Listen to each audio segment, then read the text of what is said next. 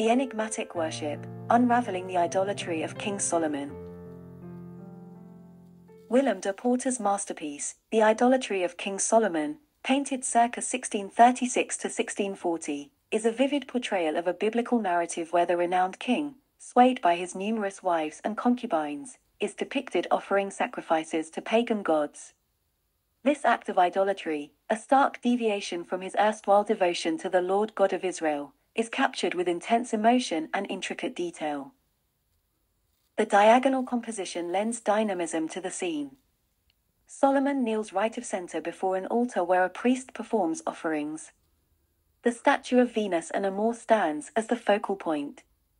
Inspired by Peter Lastman's works, De Poorter employs pastel hues that breathe life into each character while highlighting the altars amidst shadowed foregrounds.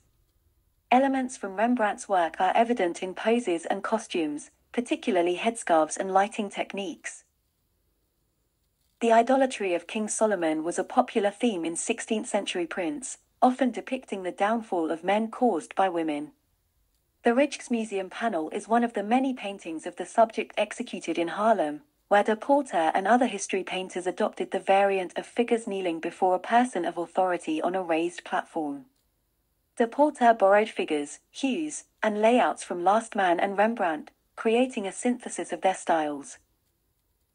King Solomon's idolatry was not just an individual fall from grace but symbolized a collective spiritual decline. His submission to pagan worship under his wife's influence marked Israel's departure from divine favor, a theme recurrent in biblical narratives. Amidst this dramatic scene lies an intriguing anomaly, De Poorter's depiction features a statue of Venus being worshipped, a departure from traditional portrayals featuring male deities. This choice underscores Venus as analogous to Ashtoreth, Astarte, linking Roman mythology with biblical narratives. The idolatry of King Solomon isn't merely an artistic rendition but serves as a visual commentary on spiritual fidelity versus human frailty, a theme resonating across ages. Each stroke by de weaves not just color but emotions, beliefs, and historical epochs together, offering viewers an immersive journey through time where art meets scripture meets human experience.